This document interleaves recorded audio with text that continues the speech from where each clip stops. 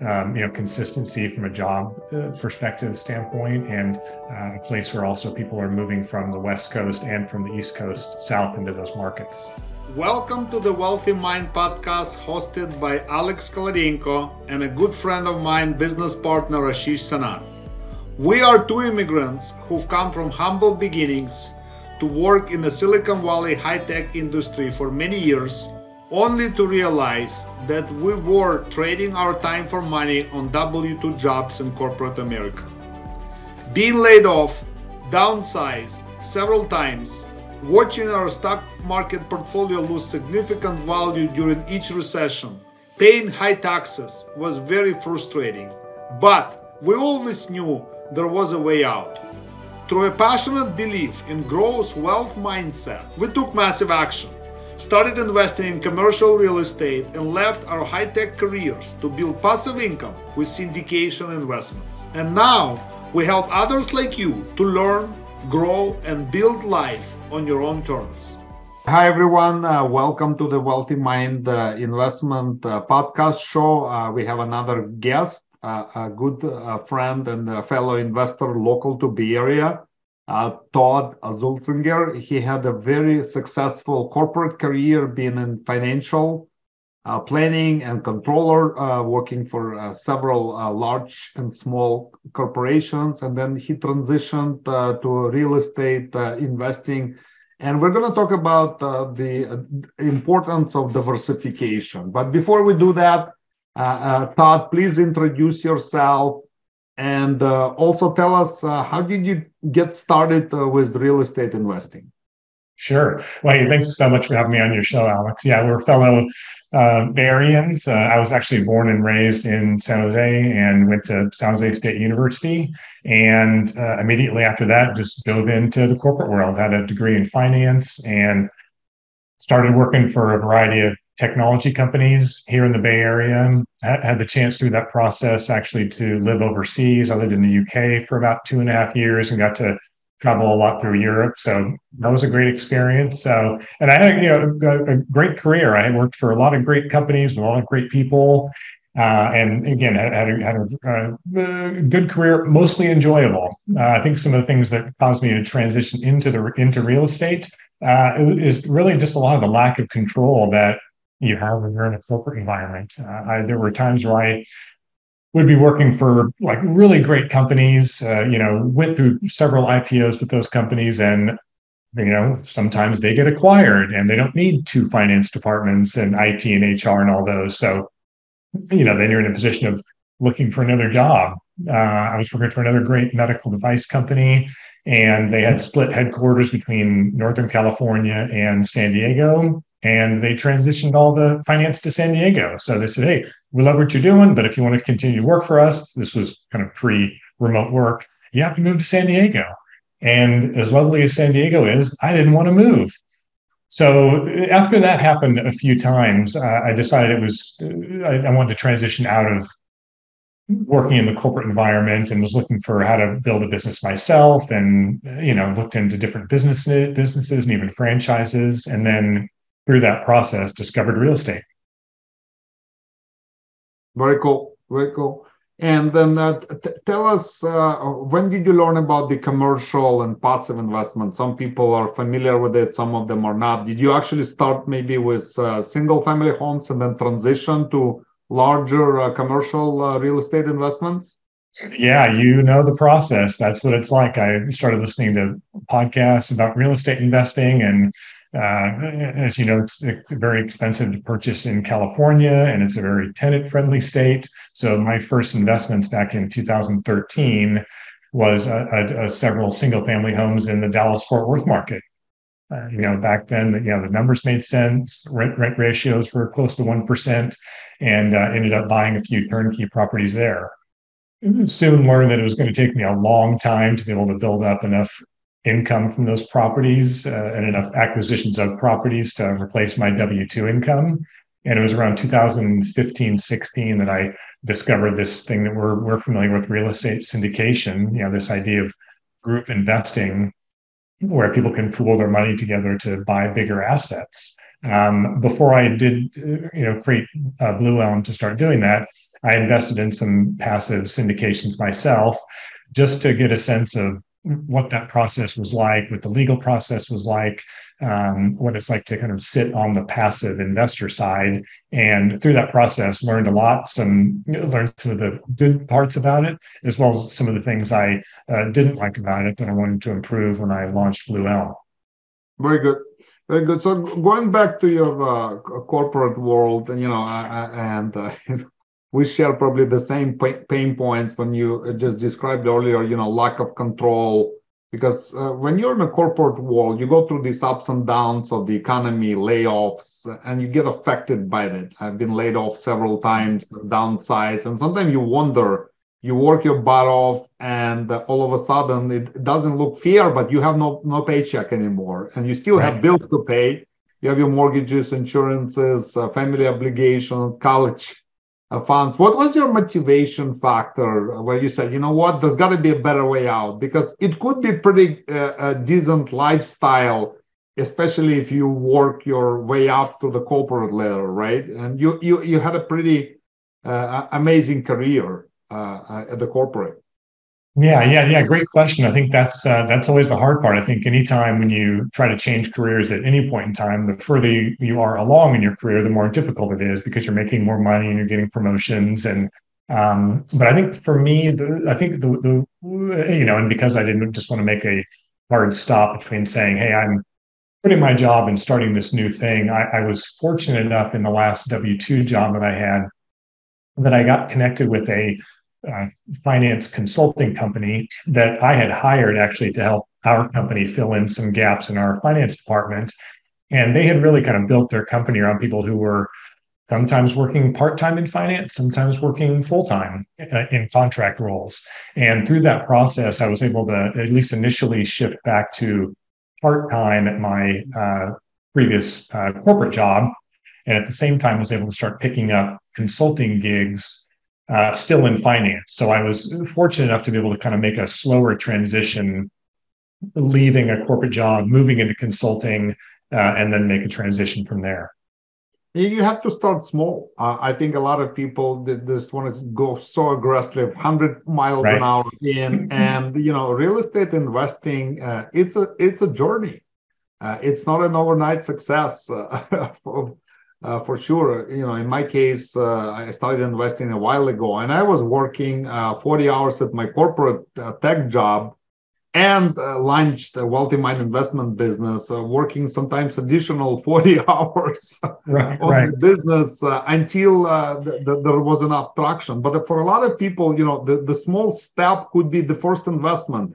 It could be the podcast. It could be ebook. It could be mm-hmm. a reference call it could be attending uh, the webinar.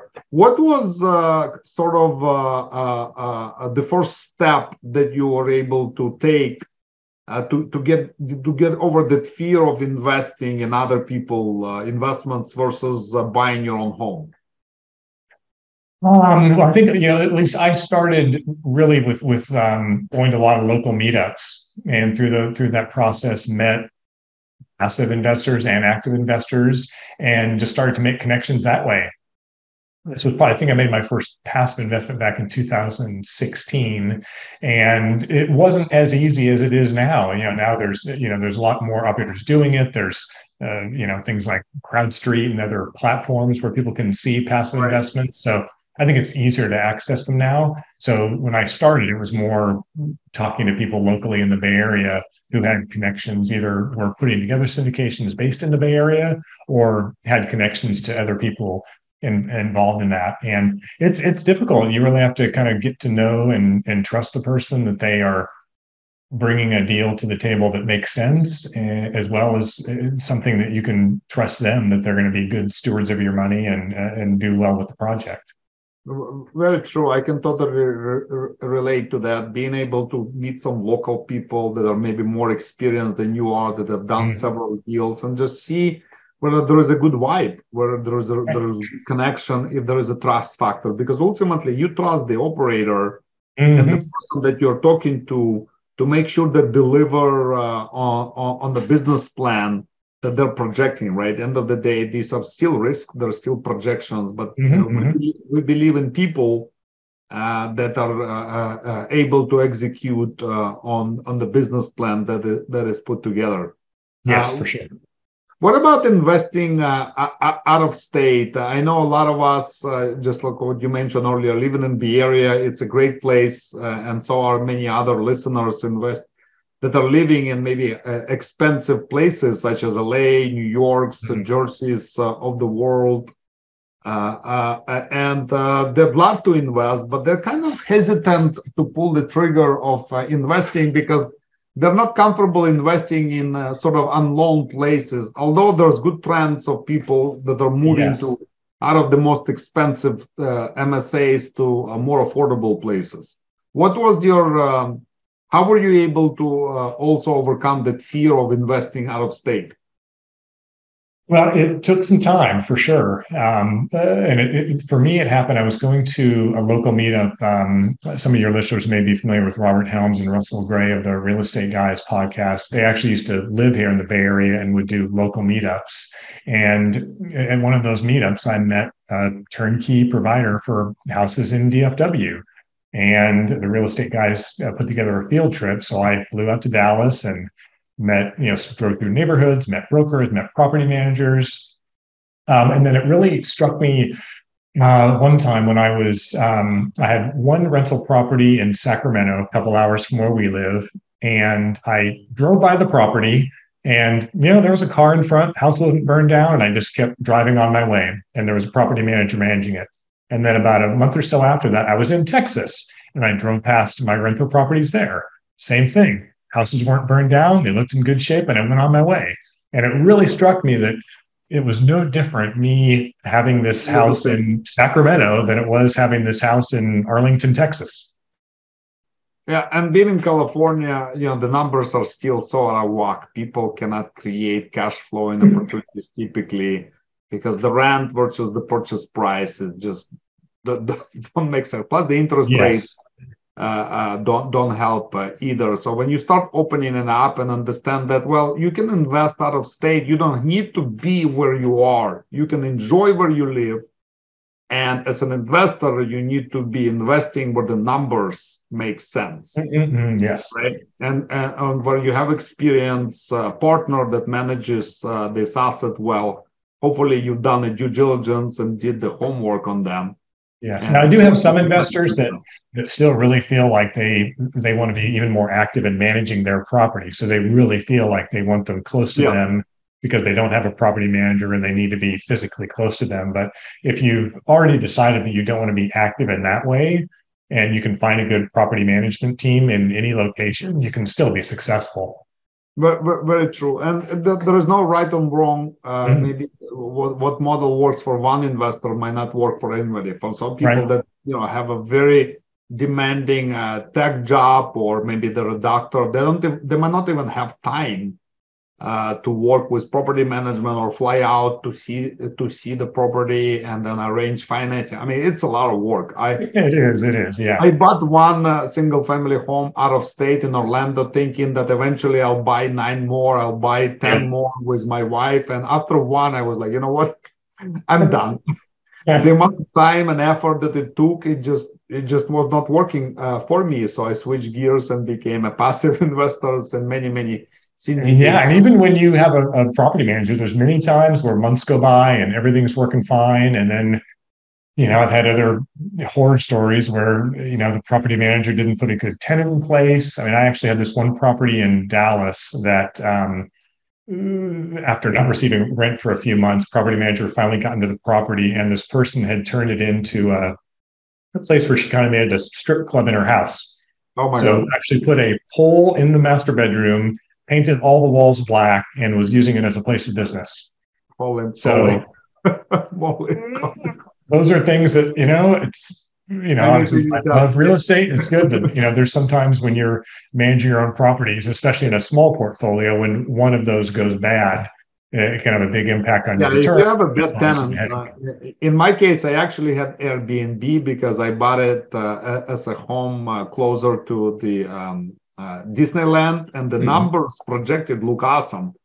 but th- there's there was so many houses down there that also utilized the same model that all my projections went down the drain in year one. I actually lost money.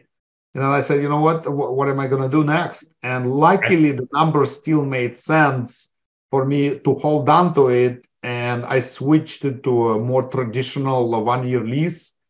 And uh, it's it's been doing well, uh, although I had to mm-hmm. change tenants at one point uh, as well. And, and, and, but it just goes to show you that uh, you know it's not as simple, it's not as rosy uh, as sometimes a lot of people think that you know, you can just buy it and forget about it.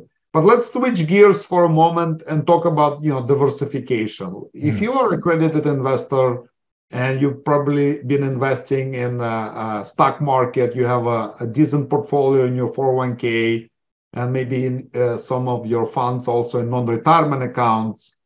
Uh, and uh, you're curious about real estate investing, but you you don't have time to do a whole lot of research. You don't have time to fly out to look at the properties and look at uh, the best uh, loan options. You have a busy uh, job and career, you have a family, you have kids, you have obligations. Syndication is a great passive investment opportunity to sort of uh, enhance your portfolio with different asset classes. So mm-hmm, let's mm-hmm. talk about that and, yes. and, show us your example. How, how, how do you diversify and create multiple income streams and reduce the volatility? Because stock market, as we all know, uh, can be very volatile. Just the other day, uh, you know, First Republic Bank, Silicon Valley Bank, these are yeah, right. large banks have gone from hundred dollars uh, per stock to zero. They, they yes, have right. completely collapsed. Uh, so we all know diversification is a must, but uh, mm-hmm. mm-hmm. uh, t- t- tell us more uh, why it's important and how do you go about it? Um, yeah, you know, I look at diversification, uh, you know, in the syndications I put together, as well as what I invest in passively, uh, geographic as well as asset classes. Uh, my first syndications uh, uh, were actually the first time I used my self-directed IRA for a real estate investment was actually for uh, a hard money loan for a fourplex development in San Antonio, Texas. Um, and then after that, I invested in a commercial property in, in Plano, Texas. And these are things that, you know, I would never be able to, you know, even even comprehend what it would be like and how to manage a, a hundred thousand square foot commercial property in Texas that has, you know, its own um, lending requirements, how you get new leases for them, just all these kind of things that the only way really to have access to that uh, you know, other than potentially going through a REIT, which you don't really, you know, have a direct investment in the asset, is through a syndication. So, so I started to diversify that way, and then you know through that process over the years, I've invested passively in um, in uh, self storage, in mortgage note funds, in, in, apartments, in mobile home parks. So, uh, so it's a combination of asset classes and geographies. Um, personally, when I started putting together my first syndications back in 2019, I focused on mobile home parks. And one of the things I really like about the mobile home park business is there's still a huge need for affordable housing across the country, and no new mobile home parks are being built, or very few are being built in any particular year. If anything, they're being uh, torn down or, or, redeveloped. So, from an affordable housing perspective, uh, I, I liked uh, mobile home parks. Um, since that time, I put together syndications for uh, multifamily for apartments, uh, as well as RV parks that are more on the recreation side. So you can do it as a as a. Uh, I know there are many syndicators that focus on one specific asset class that they specialize in. Other ones are more diversified, um, and then definitely from the passive side, I would su- suggest to anybody who wants to invest passively in real estate to look at multiple asset classes for that diversification. Yeah, for sure. I mean, so some people are familiar, maybe many are not uh, Tiger 21 uh, is, is, an organization that actually tracks the portfolio allocation type. What do wealthy people invest like that have 5, 10, 25 million dollar you know net worth? And it's mm-hmm. it's interesting to say we're not bashing stocks here, that I think it's important to have allocation uh, to the stock market, but the typical allocation to the stock market is about 20, 25%, and 25% yeah. It's private equity and, and, and, real estate. uh, and it is so different uh, if you think yes. about it. It's so different versus what, what's the typical allocation that financial advisor recommends. Yeah, and I think part of it is that it's so easy to get started. And you start a job, and your company has a 401k, or you want to open a brokerage account and you can start with hardly any money at all. Uh, whereas right. if you want to get into uh, syndications, yeah, you got to have a, uh, you know, oftentimes you have to be accredited and you have to have more and more wealth right. established before you do that. So there is, there are barriers like that. Um, and that's, I think, where I think that's a, a telling sign that Tiger 21 study that says that people that have really built large amounts of wealth that are really trying to build legacy wealth for themselves and their families look at alternative investments, including real estate. Yes, so true. And then uh, uh, uh, as you progress in your career and you start to accumulating more wealth, you also start paying attention to taxes, right? Because you know, looking back uh, at your corporate uh, uh world career and and so are mine, you know, making two, three hundred, five hundred thousand dollar a year sounds great until you see, wait a second, 30, 40, 50% of my taxes is gone. Yes. And then you, are realizing that, well, that's not going to work if you continue in the, in the trajectory. What if you could make a little bit less or sometimes more after you accumulate in that and, and become good at the investing world? And then you pay zero. You, you could potentially pay zero taxes and it's uh, in absolutely legal on top of that, there is a deferral component, right? Mm-hmm. Not only you're you're you're not paying any taxes during uh, your accumulation phase, but you can continuously defer that uh, pretty much indefinitely through tax mm-hmm. deferral, 1031 yeah. exchanges, and uh, tenants in, in, in, common option. That that was a game changer for me. Yes, I agree. I mean, real estate is magic that way. I mean, I remember having conversations before I was started investing in real estate with uh, CPAs that I've had, and say, "Oh, is there anything I can do to reduce taxes?" And all they could say was, "Oh, you could put more in your 401k, max out your 401k or your IRA." I mean, that was it. There was no other advice or way to save taxes when you're generating W two income. Right. Yeah, that, that, that, that, that's huge. By the way, what is your uh, uh, favorite asset class right now uh, when it comes to uh, commercial real estate? Uh, yeah, I think my favorite my favorite right now is is right now is multifamily. Um, I just think when when I look at the trends for the need for housing uh, just across the country, we're just still not building enough housing to to house all the people that are uh, that are forming households at this point. Um, you know that combined with higher interest rates, higher home cost to purchase a home, it's going to leave people that uh, still want to have a